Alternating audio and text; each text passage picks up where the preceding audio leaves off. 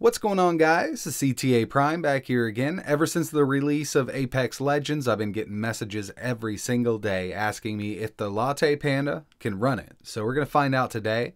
We're going to be going in stock form first, and then we're going to test a couple external GPUs. So I'm not going to go too high end with this. I'm only going to be using the GT 1030 2GB GDDR5 version, and I'm also going to be throwing in a 1050 Ti. If you're a regular viewer of the channel, you probably already know the specs on the LattePanda Alpha, but I'm going to give you a quick rundown on it. For the CPU, we have the Intel M3 7Y30. This is a dual-core CPU with four threads. 1.1 gigahertz, but it will turbo up to 2.6 on a single core. Most of the time, it's sitting around 2.4 gigahertz. For the RAM, we have 8 gigabytes of LPDDR3 at 1866 megahertz. This is configured in dual channel mode, and the GPU is the built-in Intel UHD 615. It will do up to 900 megahertz. So like I said, I'm going to be testing this like it sits, just stock, and I'm also going to be adding a couple external GPUs. In order to get an external GPU working on this board, you have to use an M.2 to PCIe X4 adapter. I'm also going to have to add some extra power to this adapter because the M.2 is just not going to send enough juice to power the GPU.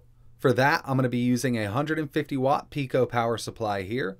It works really well with these GPUs that only require PCI power.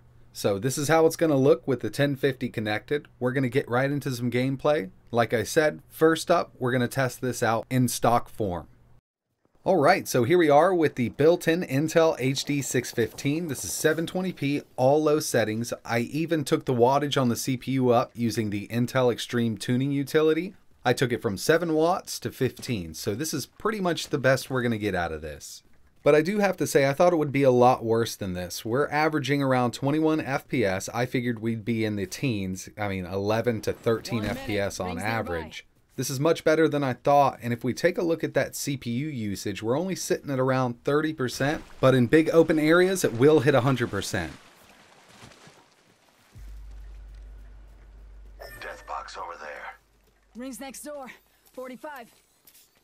I also tested this at 1080p with the same settings we have here. We were averaging 14 FPS, but we did have a low of 8. Now, obviously, both 720 and 1080p are unplayable with a fast-paced game like this. I mean, I guess you could get used to it, but it's really hard for me to get any shots in because the frame rate is just so low. So we got the stock setup out of the way. All low settings, 720p, we're getting an average of 21 with a low of 13. Let's go ahead and add a GT 1030 and see what it does. So I've been having this issue lately where my game capture isn't picking up sound. Now this is coming out of the speakers. The sound is working through the HDMI on the GT 1030, but I just couldn't capture it with my Elgato HD 60. Think I might need to replace it. So here's the GT 1030. Keep in mind this is the GDDR5 version. They also make a DDR4 version which will perform worse than this. 720p, all low settings, now, as you can see, it's much better than the Intel HD 615. We got an average of 49, a minimum of 36, and a maximum of 75. It's much more playable, and if you just lock this at 30 FPS, just put it on half sync, you're to have a good experience with this. Now, this is 720p. I usually like doing at least 1080, so I did test 1080 also, just to see how it did with the GT 1030. At 1080p, the 1030 did an average of 31, a maximum of 40, and a low of 23. So this is still on the low end side of things. If you're doing a 1030 with something like this, I do recommend 720 just to get a better frame rate.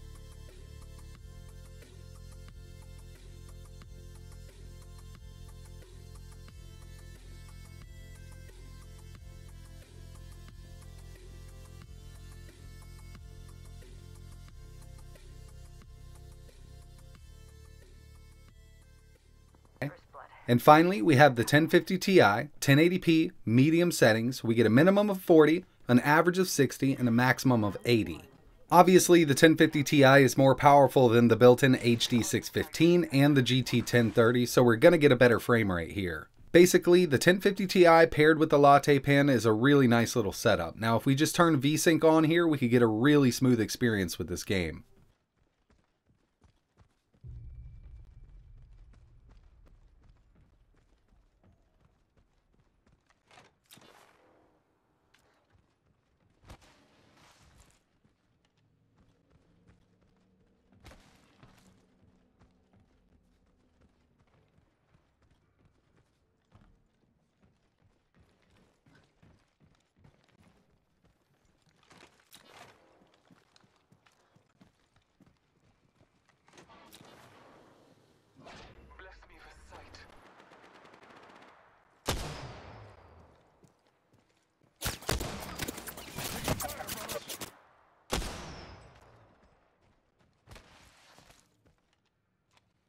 shield.